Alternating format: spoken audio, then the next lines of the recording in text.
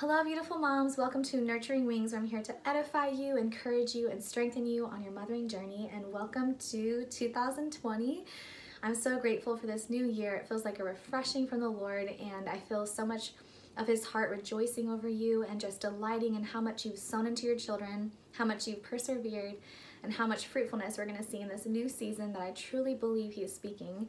And I wanted to bless you with a word that He gave to me for you it is Isaiah 55 12. And I also wanted to start off and just share this amazing crown that my friend gave me recently. And I feel like it was such an amazing word of the Lord that we are queens unto Him and we are royalty. And I wanted to wear this in the video to prophesy over you that you are His queen, that you are His beloved, that you are His chosen one. And wow, it is getting super sunny as I'm declaring this. The sun is shining upon my face.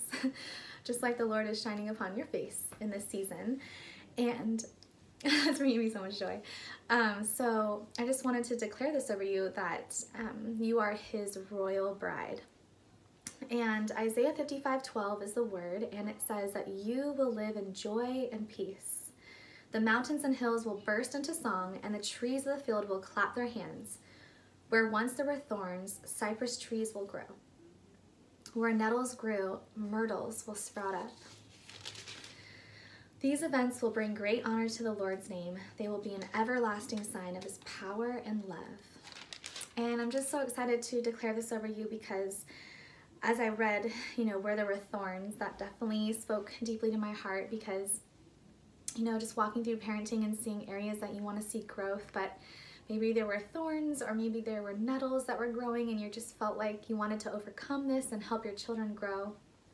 Well, the Lord is saying that He's going to have cypress trees grow and myrtles sprout up. So He's going to trade all these things, these thorns and hardships, for beauty in our children. And I wanted to declare that over you that I know that some of us have walked through some really difficult things with our children, some strongholds, some things that might have felt difficult to face, even in my situation but I know the Lord will bring forth his goodness. So I wanted to declare together that I declare where once there were thorns, cypress trees will grow. Where nettles grew, myrtles will sprout up in Jesus' name. And I pray, Father, that you'd empower these beautiful moms that are watching, God, with your strength and honor and dignity, that you would help them to overcome all that um, has hindered them in the past season and that they would have fruitfulness and abundance in the new season in 2020. In Jesus' name, I bless you, beautiful moms, and I'm excited to hear of your testimonies and know that you are growing and that I declare also heaven in your homes, that you would have a heavenly presence and harmony in your homes. In Jesus' name, amen. I bless you.